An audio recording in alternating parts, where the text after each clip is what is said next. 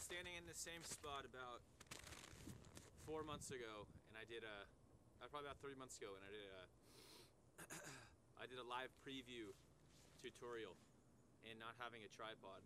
So I'm still using the same tree branch.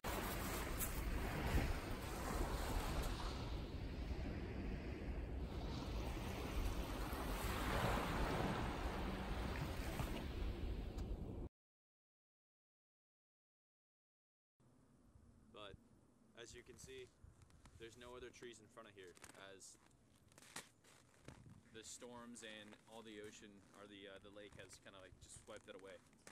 So as you can see, changing landscapes have taken their shape.